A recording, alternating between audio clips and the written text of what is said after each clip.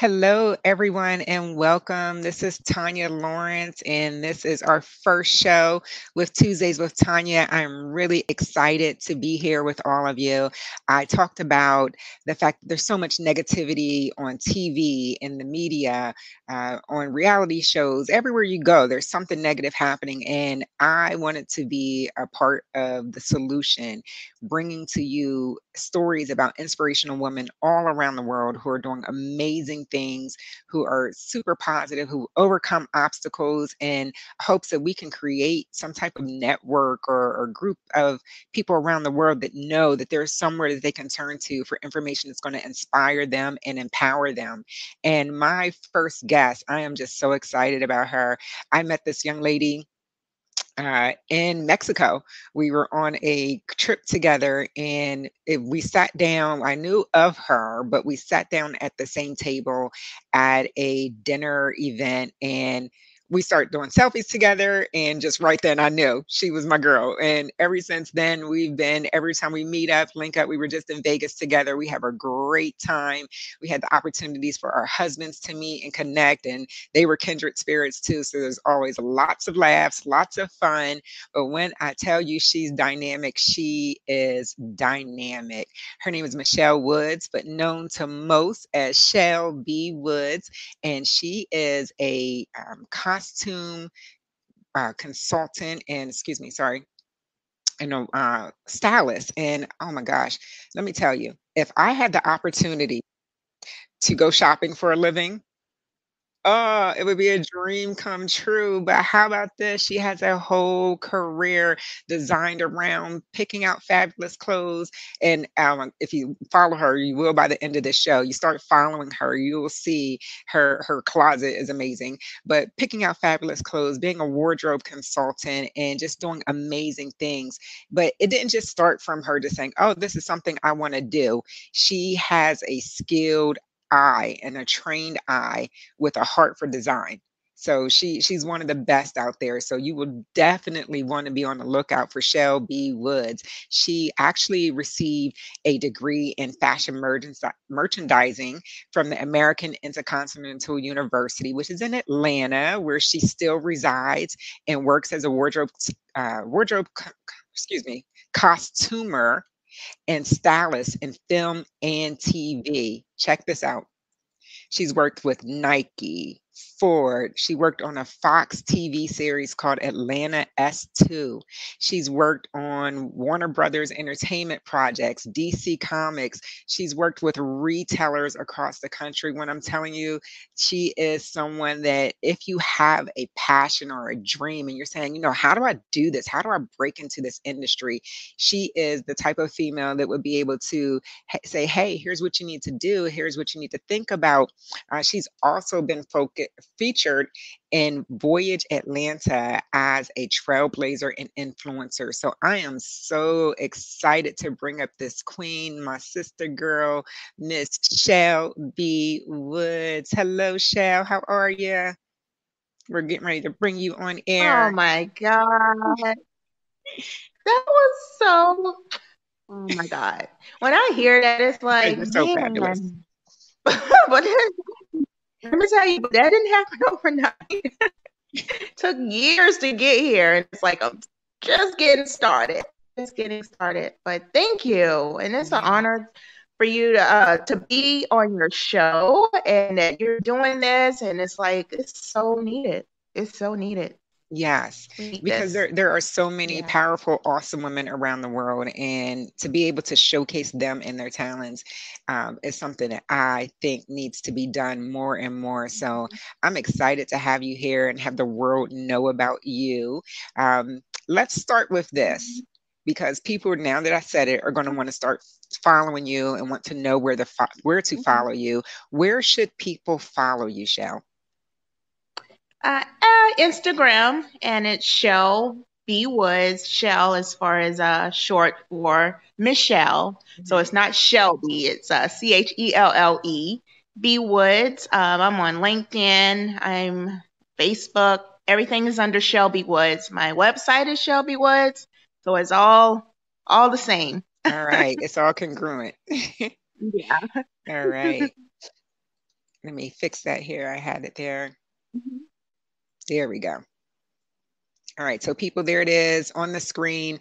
You can start following her at Chelle B Woods after the show. Don't don't do it now because you'll see your alerts and get busy and start getting distracted. But let's find out some more about the fa- fabulous Chelle B Woods. Chelle, how did you find out about the fam- uh, fashion industry? What made you become interested in it? Hmm.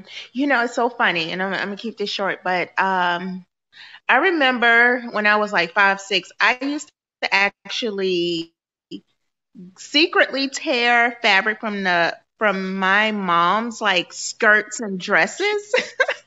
like with my little kid scissors. Mm-hmm. And I used to make like uh dresses or skirts, whatever, and have um and like dress like my Barbie dolls and like march them down the hallway. Oh, like napkins, anything I could find. My mom would tell you anything she could find. So it's so crazy, like that, uh, like that burning desire as a kid, like, like it just follows you. Like what you love, it just follows you. So honestly, it started from there. But um, I sold like everything online. Like I just love merchandising. Um. I even worked like when I worked in corporate, I always had this side hustle of selling. Like I was the handbag lady in All corporate. Right. I used to sell handbags out of my trunk. but yeah, I, I just always had a, you know, it's like that burning desire. It just never goes away. What you love, it just never goes away. And uh, coming into the industry, it wasn't even on my radar.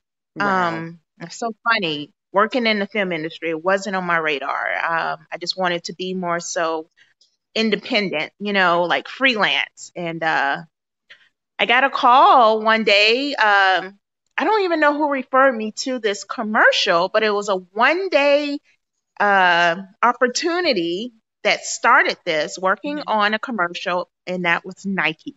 Nice. As, as, an assistant, I still don't know who referred me to that, but it started from there. Um, just doing Nike and then going on to other commercials, and then eventually getting into film. Um, yeah, it just I just kept I just keep going. That's yeah, right. yeah, that was one of your recent posts, and that there are so many people that responded to that. Yes, just keep going. Keep one, one, day you look up and you say, "I'm still here. I did it." Yeah, yeah. yeah. So, you know, I, I, find that there is typically a common thread when someone is really good at something or they have a prominent career in something, you'll mm-hmm. look back over the course of their life and the thing that they've been mm-hmm. good at or the most successful at or uh, happy doing, which is very important too. There, there's mm-hmm. just some common thread, some commonality. So I, I encourage women and people in general to look at that one thing that's been constant in their life. So your mm-hmm. careers may change, your your jobs, your titles, your roles. Um, but there's going to be something that's going to be constant and for you it seems to be that it was fashion and being the, and the uh, ability to pick things out and style things so yes I, am just so excited to have you here you know um, when you say it wasn't really a plan but here it is. Mm-hmm. you are doing big things on movie sets, on uh, TV at TV studios. What has been an obstacle once you said, you know, this is something I want to go mm-hmm. after? What's been an obstacle that you had to overcome, and how did you over had how did you overcome it? Mm-hmm. Because obstacles are the things that really shut people down. They might hear a no and think that's it. It's not for me. Mm. They something may come up in their lives, but what's something that you had to overcome that someone else may identify with? Oh man, you know what? Those no's are good. You we need those no's mm. because you you have to be confident in what you do. You have to believe like I got this. Like um like that burning desire or doing what you love. Uh, like you said, it's like it's there for a reason. Like mm-hmm. we all have a purpose of of filling or serving or or whatever. Uh, so it's my obstacle is at first is like, oh my God, can I do this? Mm-hmm. You know, like, you know, doubting, that doubting, mm-hmm. that, oh my God, that voice or that left side shoulder, that that person on that left side, like, oh no, you're not, you know, not necessarily worthy, but uh, do you really have the talent? Do you really have the skills? You know, like that doubt, that is a big obstacle, uh, more so that I had with myself that I had to overcome. And knowing that, you know, I got this, I'm good at this. Uh, hell, I studied this. Mm-hmm, mm-hmm. so that doubt, uh, getting over that, you just gotta dive in. Just dive in the ocean and go for it. So l- listen, you just brought something up. Did you go to school and study fashion and then wait to get started in the industry? It, it wasn't like right mm-hmm. after. No, oh God, no. I went I studied merchandise fashion merchandising when I moved here in 03. Wow. 2003 with the hopes of opening a boutique store. That's what I I that was a that was a dream back then. Of course, I want to do bigger things. That's just a personal uh, goal, but yeah. Oh, that was 2003. I studied merchandising, and I just keep just I don't know stabbing at it. Mm. So, you went to school. You then mm-hmm. went into the corporate field and mm. then really move towards what your goal, your passion, and your dream was. Yeah. Is that what I'm hearing? Yeah. That's interesting because um, my husband and I, we we were with some mm-hmm. friends and we sat with a group of about eight young ladies who had just graduated from college. And that was a mm-hmm. big thing for them, a shocker that they had graduated from college and their idea that after their degree, these jobs would be there just waiting for mm-hmm. them, six figures right away and i think it's it's important for young people and people of all ages to know that the success that you see on tv didn't happen overnight Many of those people have been in their fields and have been working very hard for many years. And one of the disservices mm. that I see that we do um, as a society now is everyone gets a trophy. Everyone mm. a hand clap growing up for something that, that wasn't even worthy, so that when people are going into the real world, they expect that same thing to happen, and that's not the way it goes. So it's very important that people get to see people like you who had a dream, who had mm. a passion, who had something that they were good at, but in the interim, there were some bills that needed to be paid, right? And, and so you may have had to do something that you didn't necessarily want to do in order to get to mm. where you are now. So wow. Yeah, thank you for that. So that I part. yeah. all of that, that part. So that part.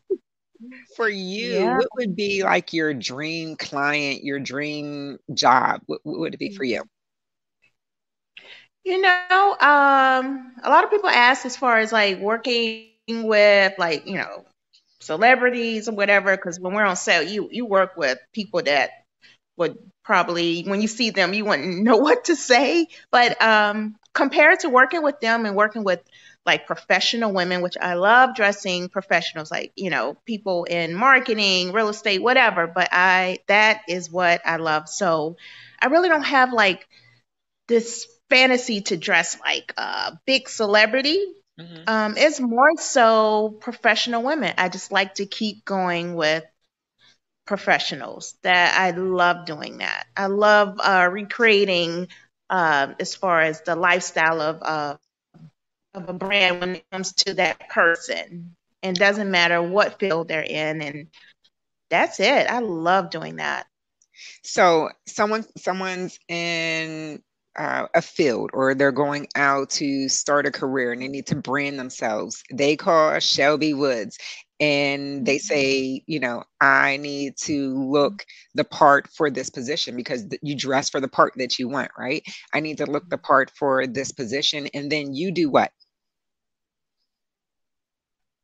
I, okay, so let's start with questionnaire. Some people will say what they want, and then it doesn't really turn out that makes sense. So I only want questionnaire because deep. Now it's we get personal now. I'm like, I'm You're breaking up just a little bit, Chelle. Can you hear me? I am. Okay. I can. What about now? Okay, that's much better. Yes. Yeah. So I heard you say you maybe my questionnaire. Okay. Yeah, start with the questionnaire because uh, some people say like, oh, I want to do this, I want to look like this, I want to brand, be branded like this, but the questionnaire is to really dig deep because that's when you really get the real answers, mm-hmm. you know? Um, so basically from that point, it's like you, I, I basically see exactly what you want from my questions. They're like okay. questions that you would never think of that make you think. So if you're saying, I want to rebrand and I want to wear this and this and that, but it's not about what you really want to wear. A lot of people think like it's all about what you wear, but it's really how you feel. Mm. It's all about how you feel, like because you could be a real estate agent have a t-shirt and jeans on and some cute little flats and you knock it out because right. of your confidence and how you feel about you and trusting in what you can do. Mm-hmm. So it's more so starting there 1st mm-hmm. But um, I just style in reference to like staple um, pieces. I love doing that because I don't believe in buying a lot of fast fashion. Mm-hmm. It's like a waste. Mm-hmm. yeah. lot, like good quality, sometimes expensive, but it's so worth it. But I just help people brand themselves um, like who they are, but it starts inside. I don't know if that makes sense, but it really starts inside. So my questions that I ask is who are you? What do you want? Because what you told me a week ago is not what the question, the answer is to these questions I asked. So I just like I really dig deep and I I style from there. How the process works, you know, I I go and I pick out everything. Just like a celebrity, I have everything waiting for my clients. I don't care what field, what income bracket, it doesn't matter. Everybody get treated the same way. Um, but I have everything waiting for my client and they try it on and we just go through the whole day of trying on clothes. wow. So that that is phenomenal because it's not just about the outside and how they look. It's about how they feel when they walk into that position, when they walk into that role, when they walk into that room. That's major. That is major. I, I don't think a lot of people mm-hmm. realize that. And they think fashion, they think, oh, someone just looks cute in that outfit. But there there is so much more to it. Mm-hmm. Um, that that is beautiful. I love that. That's awesome. Um, I'm a client. I'm going to be a client. So I got some places to go. We call them yes. All right.